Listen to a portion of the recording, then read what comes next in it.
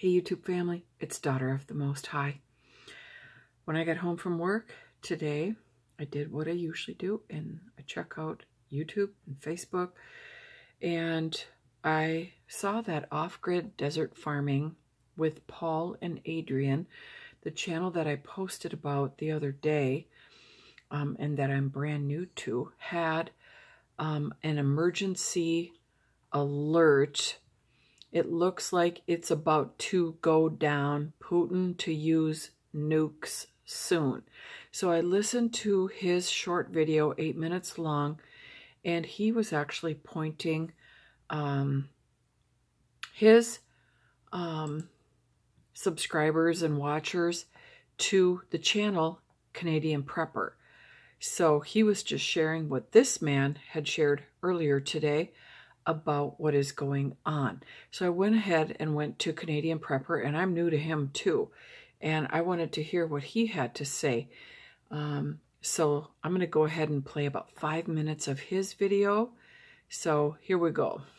Hi folks, Canadian Prepper here. Your time is precious, so I'm certainly not going to waste it. Thank you for sharing it with me today. This is a late night video, and I wouldn't waste your time if I didn't have something to say. And uh, what I want to tell you guys today is that I'm selling any stock that I have left. Because I do believe that the mother of all black swan events is right around the corner. And I'm going to tell you why. Now, we have Putin allegedly hiding in a bunker, warning all his family members that it's time to make sure that you have your bags packed because we might have to fly you out to this bunker with his finger over the nuclear trigger, allegedly. Okay? We have Poland asking NATO for nuclear weapons, even though, as I've been told, as long as you have the delivery systems, you technically are a nuclear superpower. Therefore, anybody, any country who's in possession of F 35s will effectively be a nuclear superpower because F 35s can deliver nuclear weapons. This is what I've heard. Anyways, we have Ramzan Kadyrov, now third in command of the Russian military. Third in command, that's quite the promotion. Only days after, this is the Chechen leader, the war hawk. People uh, call him Putin's pit bull, whatever you want to call him, the guy who's sending his three 16 year old sons or 16, 14, whatever, to uh, fight on the front lines of Ukraine. This guy has now been promoted only days ago recommended that Putin authorize the use of tactical nuclear weapons on the battlefield in Ukraine in order to push back the uh, offensives that are going on, that are being waged by the Ukrainians right now. If you folks out there believe the Western mainstream narrative, you need to have your bug out bags packed. And by Western media narrative, I mean that Ukrainians are winning and the Russians are being pushed back to the line.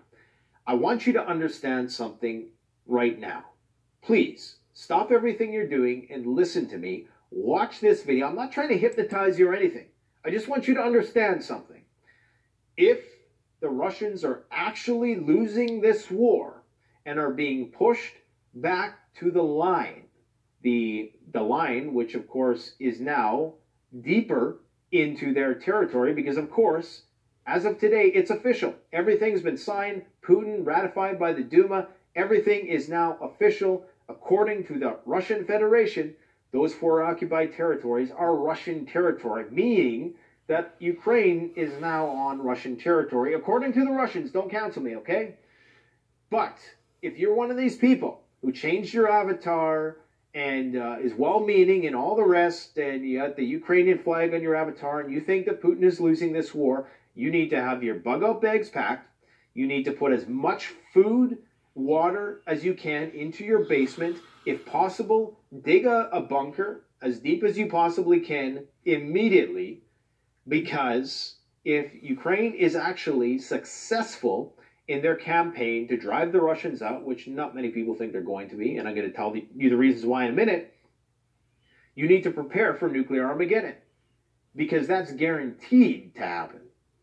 You don't understand this, do you? A lot of you don't understand that if Russia loses the conventional war, it's nuclear war. That's what Elon Musk was trying to tell people. Even he understands the gravity of the situation. You have all of these YouTube channels now coming out of the woodwork, making this the focal point of their videos for the last few days, because everybody understands. They're still calling me a fearmonger. I mean, that's fine. It's copium, it's denial, it, it's what it is, it's plausible deniability, it's you know trying to get more credibility for himself. I don't I don't know what it is. I really don't care.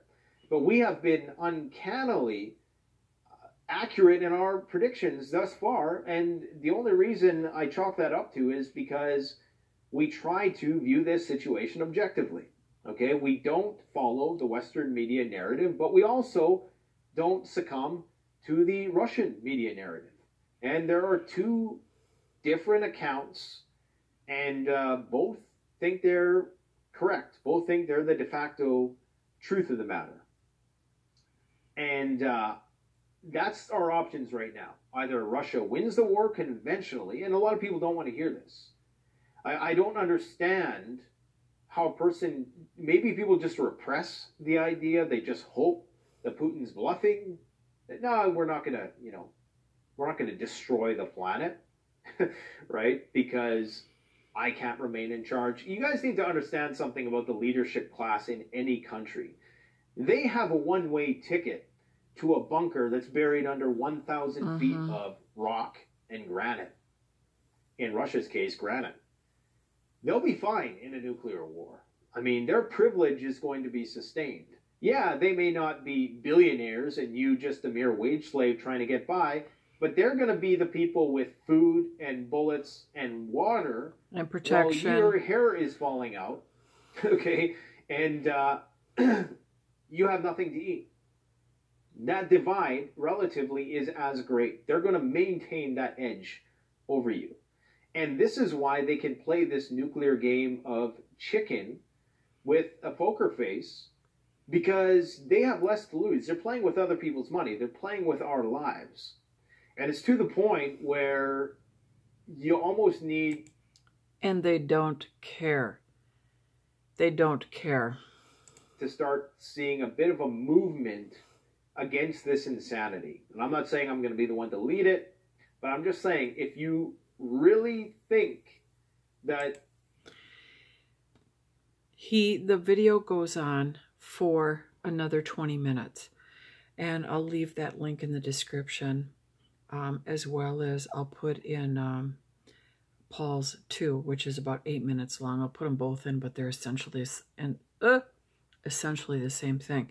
One of the things that has become very evident to me in the last few years since the lord has awakened me and brought me into the narrow path and the truth about um, what is going on in the world and the corruption and the evil and the plan and everything else that I can tell you that the wealthy elites and the Illuminati, the Freemasons, the Satan followers, the wealthy elites, we are nothing but cattle to them. Be clear on that we're nothing but cattle to them. Why? Because they follow their God, which is Satan, in his ways. And so they have his character on the inside of them. And so they don't care about our lives. They don't care what this means for us. And so we have to understand that. Um, and it takes a it takes a little while to grasp that. When I first realized that that was the case when I was reading and listening to videos and different things. And then it starts to sink in that they really don't, we are cattle to them. That's why they, that's why animals are treated the way they're treated because they, whether they're, you know, they start, um, you know, uh, skinning them and, and, and cutting them up for meat and for whatever. They don't care. They don't care if the animal's even dead yet. It's because they're so full of Satan's darkness that they don't care about animals and what they feel. And they don't care about killing them humanely. Um, and they don't care about us as people. They don't. We're cattle to them. We're on the same level as the animals. They only want what they want from us and what they need from us, if anything. Um, and beyond that, we're just waste. So be clear on that. And so some people do have a hard time believing that um, our the world and our nation and Ukraine and Russia and China are moving in this direction, but they are. And those of us that actually listen to this with some frequency, that truth starts to get down on the inside of us and we get that revelation of of that those facts. We're heading in this direction. And so um it's my heart to share this. Um it's my heart to share some of the news that I'm hearing and that I believe that the Lord is leading me to because these two channels that I've seen just this week and we're at the half point, halfway point in the week. Um, I'm not even familiar with these channels. So I want to share what the Lord is sharing with me. Um, and we know that the world is going to be in chaos. That's how this the Antichrist emerges. He emerges to bring peace. So we know war and famine are coming. That's not a surprise to anyone. Um, the surprise is going to be when it hits. I mean, not not to anyone, but to anyone that follows. Of course, most of the world is going to be totally caught off guard and shocked and what is this and what's happening? And they're going to be so full of alarm because they don't pay attention to anything. They live within the world system. We do not. We we follow the things of God and the, you know, uh, pastors, churches, and YouTube channels that actually know what's going on. We follow that, and um, so I just wanted to share that much with you today. And I want, you know, we know it's going to happen. I think most of us want to like push it out a little bit. Like, can we just have a little longer of, you know, any kind of normal living, please? But it's it's going to happen, and things are going to be chaotic, and then the Antichrist is going to emerge. So, it's right around the corner. Um, so Again, I don't mean to alarm anyone. This video is alarming. So is Desert. Um, what is it? Desert. I keep forgetting his name because I'm new to his channel. Off Desert. Off-grid desert farming. That uh, his is pretty alarming as well. He's pretty amped up when he shares his information, but we want to get the they want to get the warnings out and then I'm sharing as well. So anyway, bless you and uh, uh, just trust the Lord. You know, we've, we're in the Lord's care and none of us looks forward to this, all this what's coming, but we are so blessed to know our Father God and his protection and his truth and whatever happens to us, we know it's going to be difficult, um, but he's with us. So, and we have, we carry that with us every single day, all day, every day, no matter what our day holds.